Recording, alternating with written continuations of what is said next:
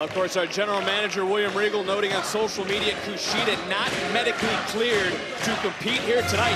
So we have an open challenge, and look who it is.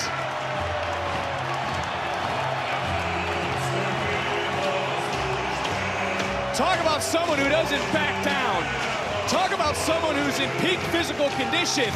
Ilja Dragunov. Well, the feedback was clear. We saw last week Dragunov involved in a hard-hitting instant classic. I mean, I'm mad I had to take vacation away from a certain someone sitting to my right because I would love to be here to see that main event. That's right.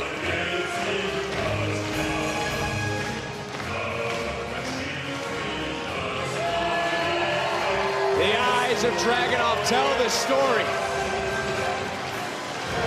Dragunov uh, appears, Wade, not to come out here to talk, to compete.